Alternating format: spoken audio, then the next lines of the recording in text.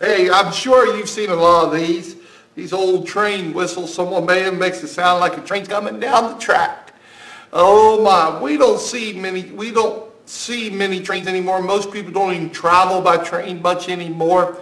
But there was a time not too long ago in our, in our, in our near distant past that train, mode of train changed America.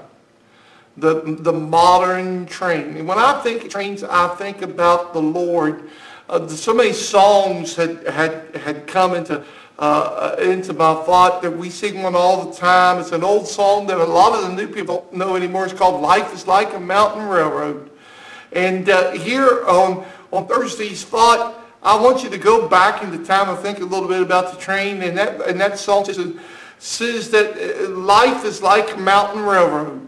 As we go around the vessels up and down the hills, around the curves, as we're on our destination to heaven, there's a lot of grades. There's a lot of trials. There's a lot of hills that we got to go down. Uh-huh. But we're going to pull into the Union Depot, which is heaven, any day now. I want to hear the porters say, well done, thy good and faithful servant. Enter into the joys of the Lord. Now remember, friends, this is the first day of the rest of your life. Go live it for the Lord.